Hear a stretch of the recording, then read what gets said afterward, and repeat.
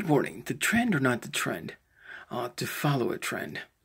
Um, that can be daunting. Tre trends tend to be the pulse of a certain type of groupthink.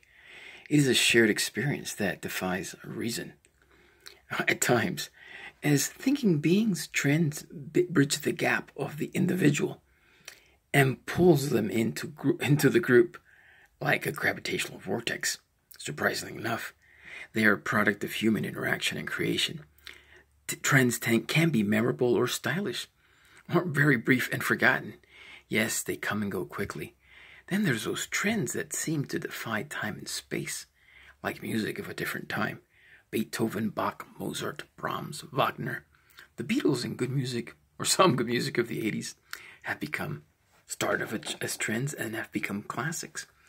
They why? Because they are original and authentic and transcend time and space. While other trends die, others transmute and live on.